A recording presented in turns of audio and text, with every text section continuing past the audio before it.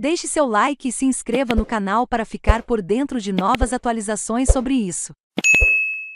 Após Moro virar réu, Dallagnol se desespera com cobrança de quase 3 milhões de reais do TCU. Vídeo. Agenda do Poder. Após Sérgio Moro, União Brasil, se tornar réu pelos desmandos da Lava Jato, e por danos causados à economia brasileira. Deltan Dallagnol não escondeu o desespero. Nesta terça-feira, 24, ele recebeu uma notificação do Tribunal de Contas da União, TCU. O documento aponta que Dallagnol terá de pagar 2,78 milhões de reais por diárias recebidas e passagens na época em que era procurador da Lava Jato. O ministro Bruno Dantas, relator do caso, ressaltou que houve gasto excessivo no pagamento de diárias e passagens pelos procuradores. Por isso, ele exige que os recursos sejam devolvidos.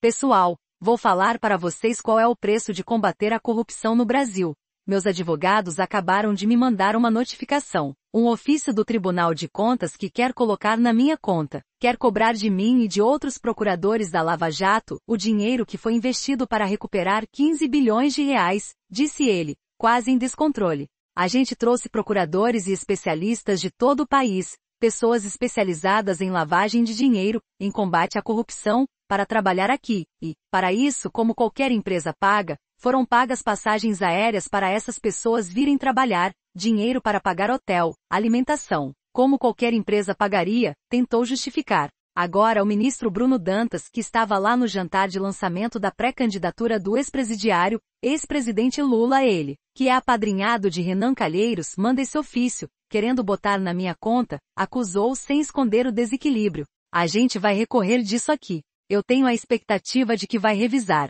Não sou administrador do Ministério Público, não mandei pagar diárias, não recebi essas diárias, não autorizei. Olha o que ele quer cobrar de mim. 2,8 milhões de reais, acrescentou Dallagnol. Veja a postagem de Deltan Dallagnol.